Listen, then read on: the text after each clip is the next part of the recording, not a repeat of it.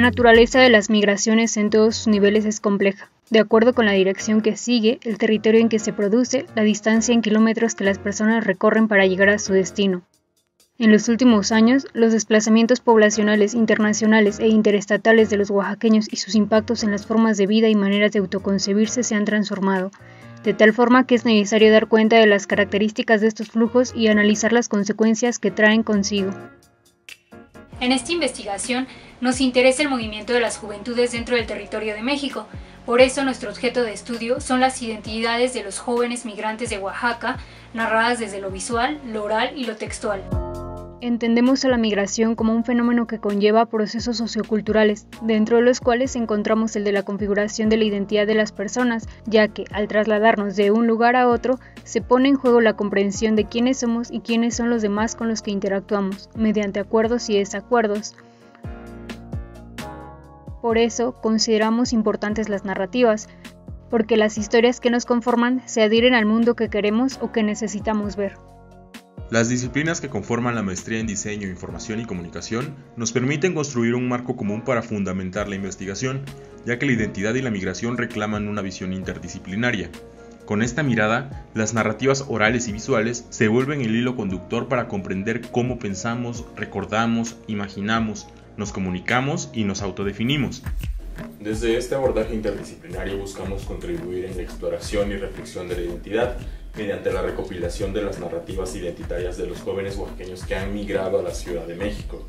Para lograrlo, nos hemos planteado algunos objetivos particulares que están estrechamente relacionados con obtener las historias de migración de estos jóvenes. Desde la tecnología ponemos especial interés en el análisis de la fotografía de Instagram, pues consideramos que esta es una plataforma que facilita y motiva el acto de fotografiar y compartir imágenes, y con ello las personas se relacionan con la expresión de sus propios sentimientos, con la representación de su identidad y la socialización. El diseño de información nos permitirá también mapear la experiencia migratoria en forma de líneas de tiempo, y con todo ello comprenderemos el significado que le otorgan a su experiencia migratoria y cómo influye en su idea de identidad.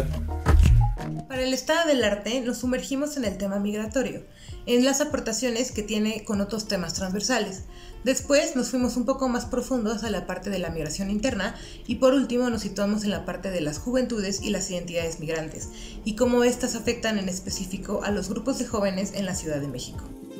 Finalmente hicimos una investigación de cómo los migrantes usan la tecnología, específicamente el caso de Instagram, y también de cómo la fotografía es fuente principal de diversas investigaciones.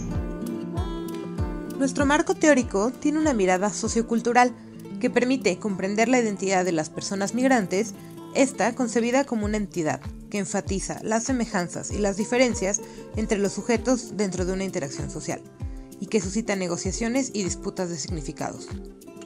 Retomamos parte de la teoría narrativa para comprender la identidad personal a través de la historia de una persona en su dimensión temporal, considerando el discurso autobiográfico como una vía para adentrarnos al sí mismo de cada persona migrante, pero también a lo que lo rodea. Los principales avances en nuestra investigación a la fecha son aproximaciones al campo. Entablamos comunicación con los jóvenes migrantes mediante observaciones y entrevistas exploratorias. Una primera formalización del campo ha consistido en la aplicación de una encuesta, con la que hemos mapeado rutas migratorias de 100 jóvenes de todo el estado, que nos ha mostrado que muchos han realizado primero una migración intraestatal hacia la capital de Oaxaca y después hacia la Ciudad de México. También comprobamos la existencia de redes sociales como amigos y familiares que reciban a los migrantes y algunos hábitos relacionados con la tecnología que incluyen el uso de plataformas digitales, colocando a Instagram como la segunda red social más usada. Con los siguientes pasos en el desarrollo de la investigación obtendremos información con la que, en conjunto y mediante posibles cruces, esperamos encontrar patrones y establecer categorías para el análisis, que a la vez nos permitan identificar las ideas de los jóvenes y el trazado de un prototipo mínimo de herramienta para compartir sus historias y reflexionar sobre las identidades de jóvenes migrantes.